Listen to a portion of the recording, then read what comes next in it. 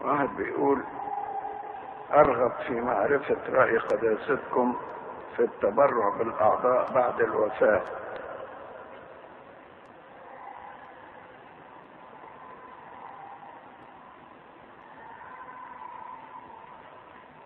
وإذا تم استخدام الجثمان لاستخدام أعضائه لشخص آخر قبل الصلاة عليه.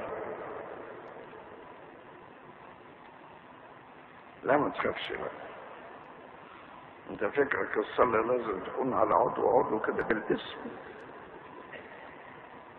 ده كفاية إن واحد بنحط إيدنا على راسه الصلاة بتوصل له كله. من راسه لباقي جسمه. فالتبرع بالأعضاء أحسن ما ياكلها الدود. يعني جسم الإنسان بعد الموت مش هياكل الدود ويتحول لتراب فاللي هو الأحسن. عضو من الأعضاء ده ينقذ حياة إنسان زي عمليات نقل الكبد مثلا أو نقل الكلى. يا دوبك الميت بيموت وياخدوا الحاجة لسه سخنة كده.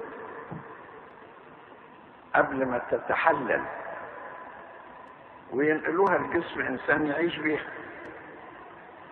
ولو سابوها هياكلها الدود وتتحول لتراب فنقل الأعضاء دي بركة كبيرة. وما فيش مانع لو حبيت إنك توصي إنك بعد عمر طويل وقبل المجيء الثاني